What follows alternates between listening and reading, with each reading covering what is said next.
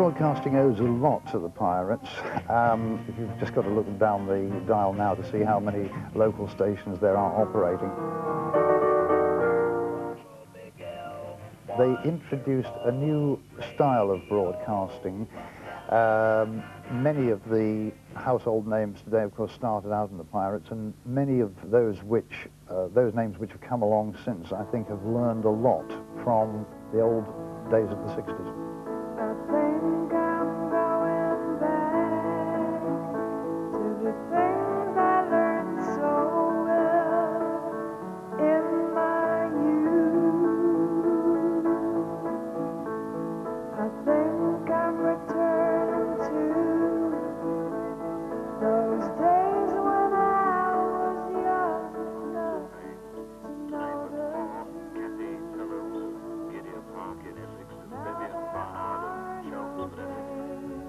Very exciting to hear um, my name on the radio and to have a record um, that I liked played for me.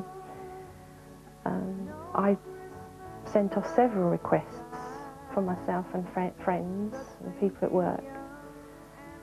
And uh, it was it was new and exciting. We'd not had anything like that before in the 60s.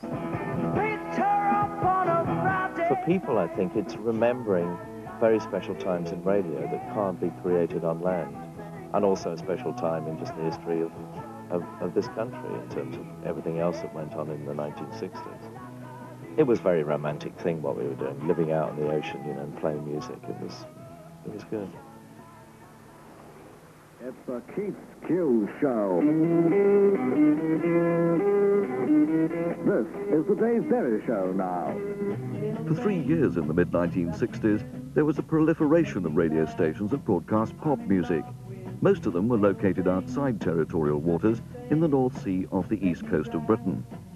I joined a group of young and enthusiastic broadcasters who gave listeners what they wanted to hear, music all day.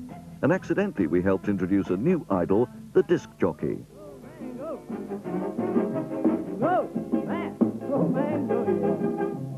Is your swinging man Friday, David Eade, inviting you to join us for an hour along with Ray Pilgrim, Barbara Kay, Colin It's very difficult to look back and think that there was no really stations that were playing uh, our music, apart from the concert tours that we were all doing. I was on all the major tours in the early part of the 60s. We had no radio. There was nothing that the, the young people could go home to and listen to the music that they were, that they were buying the records of the artists, but they couldn't listen to the music on radio. And there's no time like the present, so wherever you are, whoever you are, make way for music. The BBC was still in the Lord Reith thing of let's educate the people. And when Radio Caroline came on, we knew nothing about broadcasting. And we came on, we were, we were I think, so fresh um, that we spoke with accents. Uh, we, we weren't terribly, terribly well spoken like you, Keith. You all, all had, uh, you know, funny northern accents or London accents. And people identified with us. 26 and I was just tuning around the bands looking for anything that happened might be happened to come up. And this enormous transmitter, which of course I was later to learn was only just a few miles away from me, blasted into the uh, living room.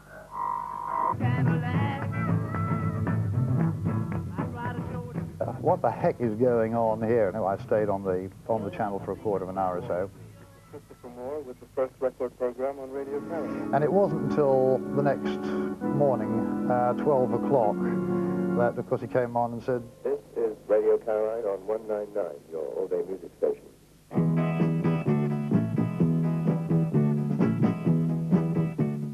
I was so starved of pop music in those days that like, when Radio Caroline came along, I couldn't believe it. All this pop music all day long. And uh, I was hooked. These guys would be talking to you rather than at you, and you felt that they were in the part, became part of the family. Come here, love. Get, your, get your face to the radio. I feel in a very, very sexy mood this morning. Mm. You broke my heart, because I couldn't dance. You didn't even want me around. But now I'm back to let you know that I can really shake them down. We went and toured in uh, Australia. We'd only had one hit. When we went, there was no pirate radio at all. When we came back, there it was. And as we got into the car, the, our recording manager turned it all on for us and said, look, there's, there's two or three radio stations now that you've got to um, really listen to and have a listen to, you know, what kind of records are being played and, and tailor your records that way.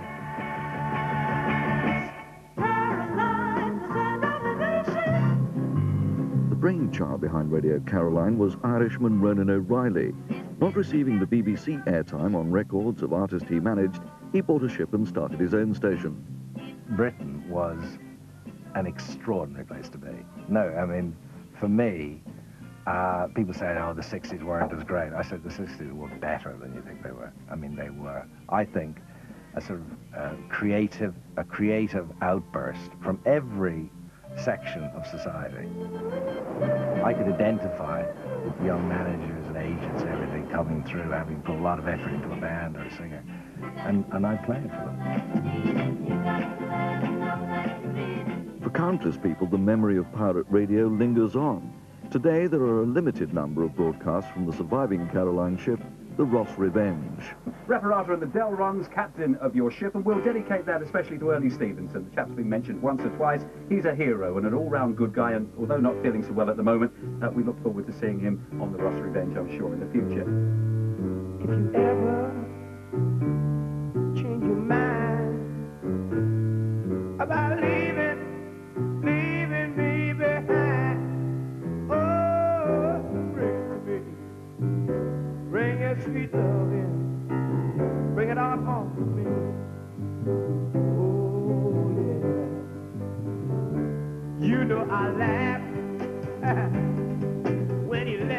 We always refer to the boat as, as the lady. Uh, journalists used to come out with Ronan and the sea would be rough and they'd get near the Caroline ship and Ronan would say, oh, it's the calming influence of the lady. And there is something special about just the name Caroline and all, all it stands for. It should have happened on land 15 years before or 20 years before.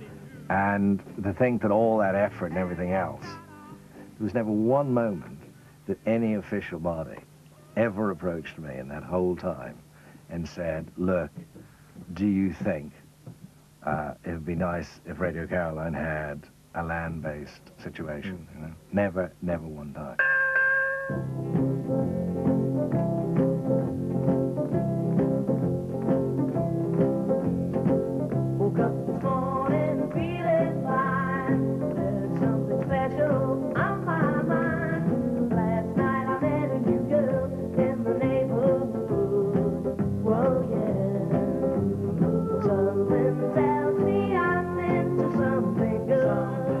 When you think of pirate radio, the, the ship that everybody remembers is Radio Caroline. I think to those of us who broadcast on both, I preferred Radio London uh, because it was much more professional.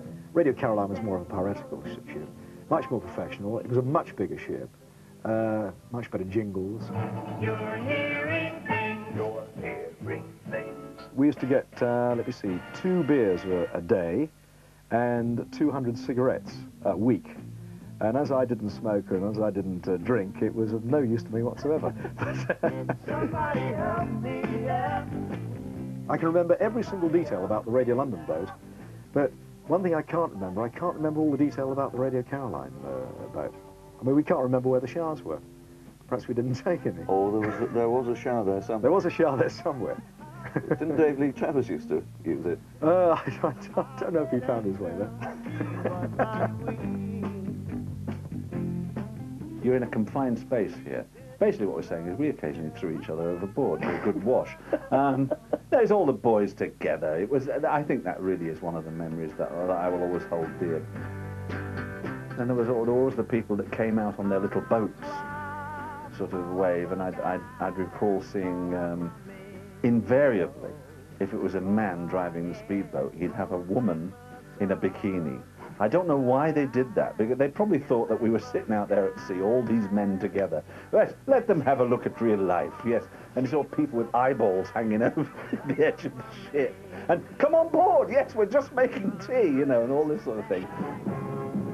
Dateline Wednesday, August the 9th. The time just coming up to 7.30. Eastbourne, an oil slick is reported... The worst time I ever had was reading the news. Uh, and, and what made it even worse was that there had been a very sad death um, a, a world leader. I think it was Nehru. And I'm just starting the first thing, first news item, which is um, Delhi. The death has been announced today of President. And uh, suddenly, up above the news desk there, came Kenny Everett with two pieces of chalk out of his nostrils. Oh, it was impossible. I mean, we was, it was really anarchic out there. What do you remember about Stewpot? Uh, that he liked the Bachelors, and I couldn't stand the Bachelors. And that was it.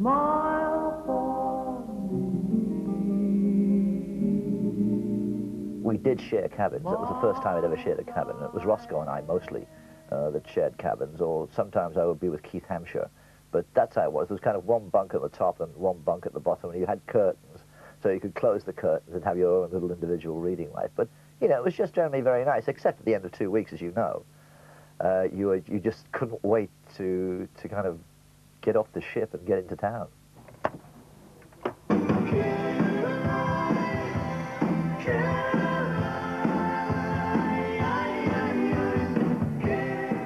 The 30th birthday party for Radio Caroline, a gathering of radio enthusiasts known affectionately as anoraks danced to the fortunes as they played Caroline, the song which became the station's anthem. It was the first song that ever gained us any recognition whatsoever. It was never a hit. We never made any money out of it, but it was a song that was played all over Britain and subsequent all over the world in time, and it was the one that really got us off the ground. Most of the bands that came out at that time, the records were based on live performance. You could actually go and, and play a live gig that was uh, being run by a radio station. I think that's why a lot of the DJs on uh, the pirate stations were really good in those days because they could do it live as well. You were personalities for the very first time in those days. My husband and I used to run disc nights um, around East Anglia, and whichever DJs were off air at the time, they would uh, come and be the DJ for the evening. And whoever came, they used to stay in my house. And there was a time when we used to do four-hour shifts, letting people use the beds, you know, and say, turn up now, the next one along. Uh, or they'd be sleeping on the floor or whatever, but uh, except Tony Blackburn. If I'm allowed to say this, Tony used to have a leather jacket which he was very proud of at the time, and he wouldn't sleep on the floor and. He used to go and sleep in the van outside in the garageway. I personally don't remember uh, staying at her house, and I also don't remember the story she tells about me, which I know she's told about me. Which is? Uh, well, I gather that she said that I refused to stay in her house, but I stayed in a, in a van outside or something Hmm. like that. No, I think she's... Uh, I don't think it's me. You sure? I don't remember ever sleeping in a van, that's why.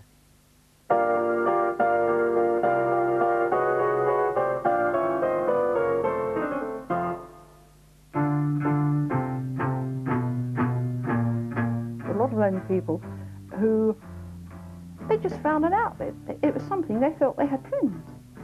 And at any time, and if somebody said, I've got a cold on air, they would send them out tissues and knit them a jumper and do it. Send them their sweets out. It, it gave them some purpose. I used to travel on um, a pleasure boat called the Lady Kent from Walton on Main. The journey took about half an hour, and we'd we'd go alongside the ship and um, talk to the DJs uh, quite close. I used to go out um, quite a lot, 21 times altogether, from 1964 until 1967. One day, Tony Blackburn got down from the ship onto the Lady Kent, and he came and sat next to me, and um, I had my mother with me, and she, she took a photograph of us both, but when he saw that she was taking the photograph, he sat closer to me and put his arm around me. I was thrilled. I secretly did have crushes on a lot of the disc jockeys, and even the cooks.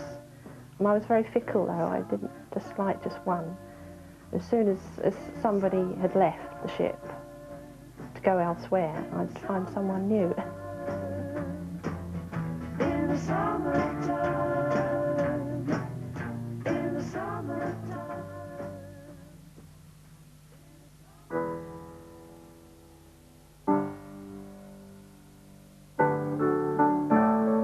The hobby of Melvin Johnson is building model boats.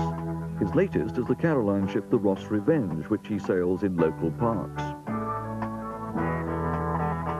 Attracts many spectators. On this occasion, three former pirate radio disc jockeys. And it was a, a, new concept as far as radio was concerned Yes. for an English audience because they hadn't heard top 40 format at No. all. Because I think Big Earl certainly livened it up. Caroline was not far short of, well, it's a sort of a hip-like program, really. I mean, there were jazz programs and uh, Yes, they- rhythm right. and blues programs and whatever, and Big Earl did come along with that top 44. Well, you were there. and, Well, we uh, had the two you know, audiences. Yeah.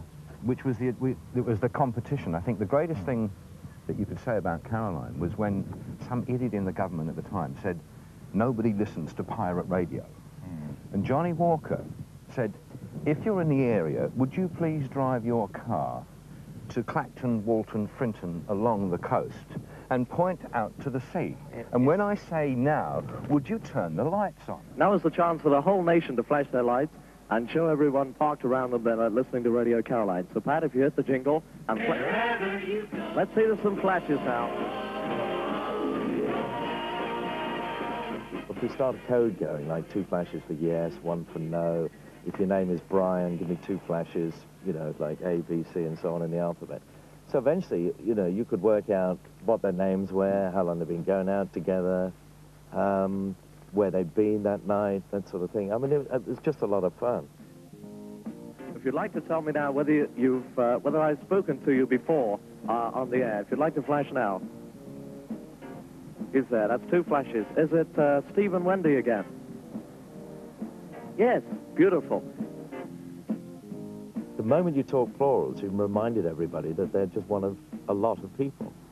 But if you say, hello, how are you? You know, and you just address that one person, then it becomes personal. They feel that you're, you're doing it just for them.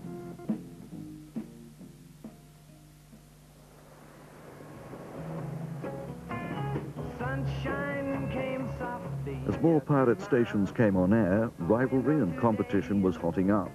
Radio City, based on forts in the Thames estuary, was the start of the darkest chapter in the offshore radio story. It was run by Reg Calvert, manager of the Fortunes. Your tower of power. Reg Calvert started Radio City.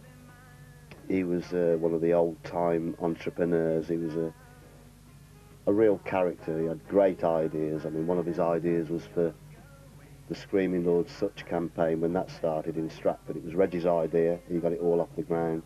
He just came up with these quirky ideas to just get publicity.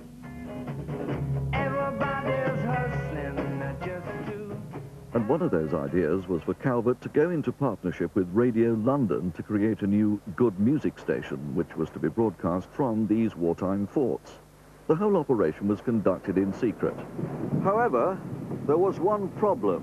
The £10,000 radio transmitter belonged to a third party, Major Oliver Smedley. He was a director of Radio Atlanta, which later merged with Radio Caroline. Smedley became aware of what was happening with Calvert and Radio London, so he decided to take the forts by storm. They climbed on board, they silenced the transmitter, and they confined all the disc jockeys to their quarters, allegedly with guns to their heads. The actual boarding party who came out um, wanted to get the transmitter off uh, that we had there, which apparently had not been paid for.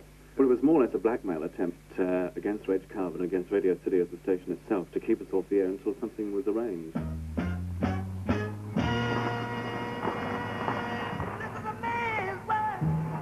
Two days later, after the uh, men had boarded the station, uh, Reg went to reason with Smedley and asked him to get these men off. And, uh, of course, the terrible consequences that followed a few minutes later after their conversation began at Saffron Walden. Something happened, an altercation in the hallway, as far as we could gather, and Reg was shot with a, a shotgun.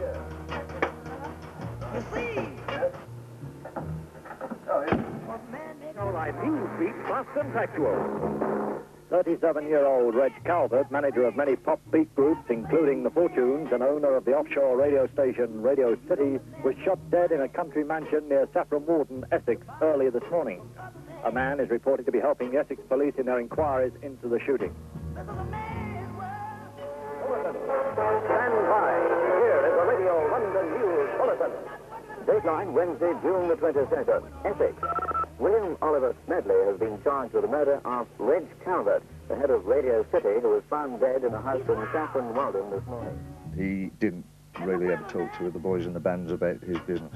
All we knew was we'd lost the manager.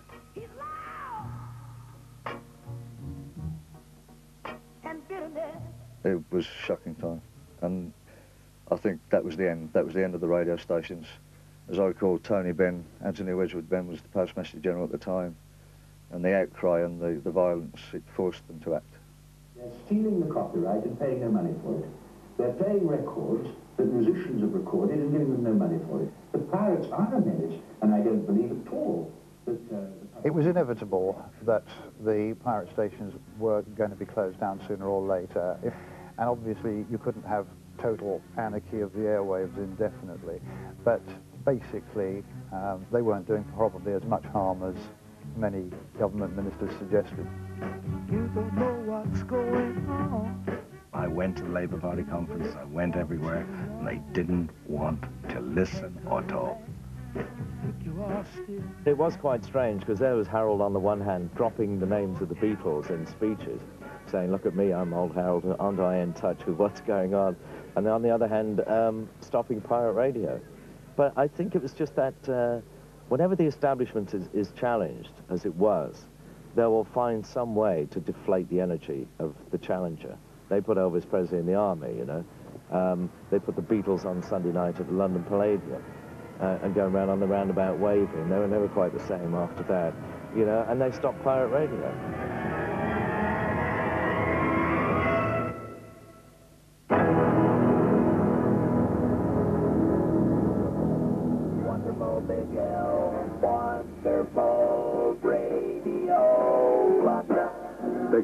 Time is 3 o'clock and Radio London is now closing down. You're my world, your every breath I take. All but one of the radio stations closed in August 1967. DJs from Radio London were mobbed on arrival at Liverpool Street Station. There were hysterical scenes as thousands of screaming fans ran amok. For most of the DJs, including myself, the party was over. and The whole vibe from everybody there was, yeah, keep, you've got to keep going, go out there, you know, keep Caroline continuing. And I, you know, I knew the listeners would be just so upset, you know. It was like, it was a battle. And let's face it, at the age of 22, to be able to stick two fingers up at the entire British government and say, sod you, you know. You can pass what laws you like, but we're going to carry on. You can pass a law for society. now for Prime Minister Society.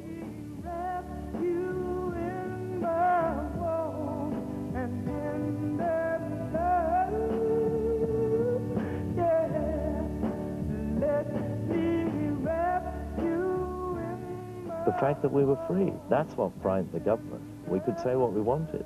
And if we wanted to get political, we could have done, but we didn't, because we weren't in that business. We're in the business of entertainment and, and music radio 24 hours a day. And the airways, I believe, belong to the people.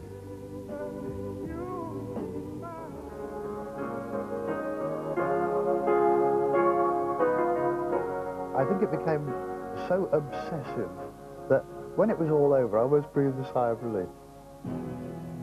But I wouldn't have missed it for the world.